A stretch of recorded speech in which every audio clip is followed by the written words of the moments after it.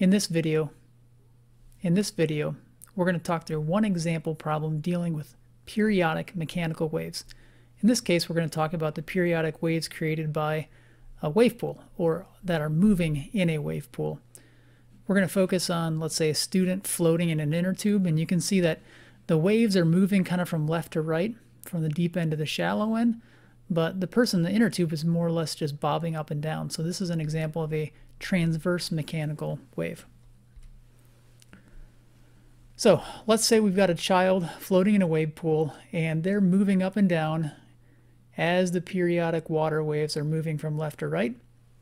And let's say they decide to measure how long it takes to bob up and down once from one crest to another crest. So from, let's say, this position, going all the way down back up to that same position.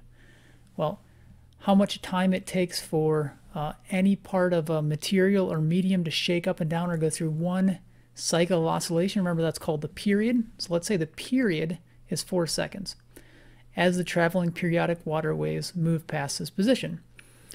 The student also notices that one crest travels the entire length of the pool, let's say it's about 20 meters in length, in about 18 seconds.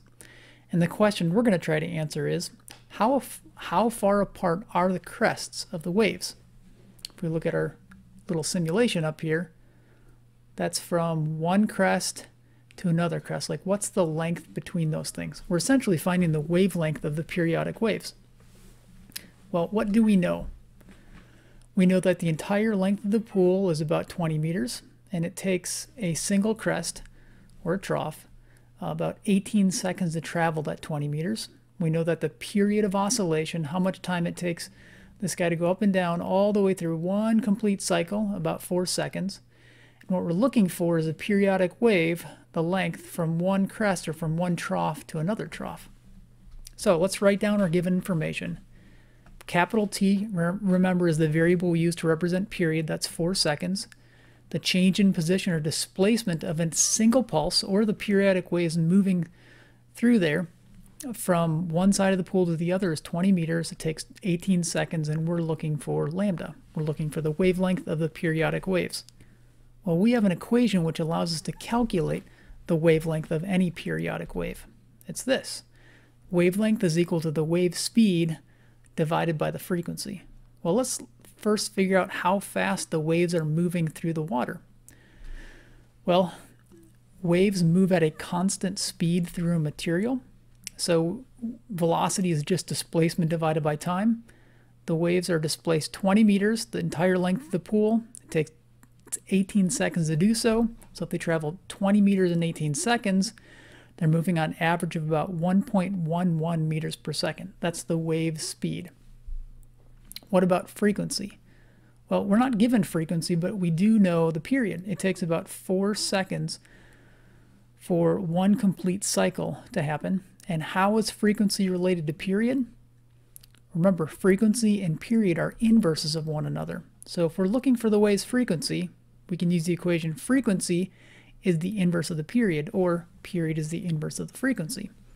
So frequency is 1 divided by the period, which is 4 seconds, and we get 0.25 inverse seconds for the units. And remember, an inverse second is the same thing as a cycle per second, and that's our unit for frequency. Or we can do it in hertz. So the frequency of the periodic wave, that is a period of 4 seconds, is about a quarter of a hertz. So let's just plug our values back in here. So wavelength is velocity divided by frequency. So we have 1.11 meter per second for the wave speed divided by the frequency of 0.25 inverse seconds or hertz. You can see the inverse seconds cancel. You're left over with units of just meters. We end up getting that the wavelength, the distance from crest to crest or from trough to trough is about 4.44 meters. Now you guys should be able to work your way through the rest of this worksheet. Unit 9, Worksheet 1, thinking through how to classify different parts of a periodic mechanical wave and use this equation to figure out things like wavelength, wave speed, or frequency.